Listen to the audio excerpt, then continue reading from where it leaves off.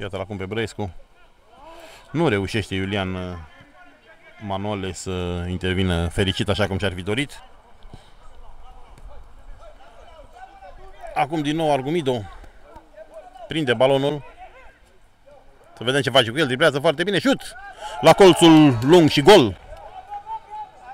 Gol, gol, gol, gol, gol. Este probabil unul dintre jucătorii veniți în probe aici la, la Limpeziș.